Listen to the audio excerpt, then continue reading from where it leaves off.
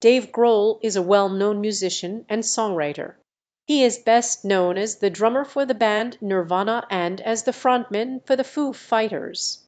Grohl has had a highly successful career in the music industry, known for his energetic performances and catchy rock anthems.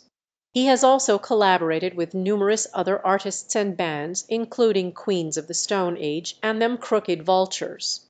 Dave Grohl is often admired for his talent, passion, and contributions to rock music. _Prompt.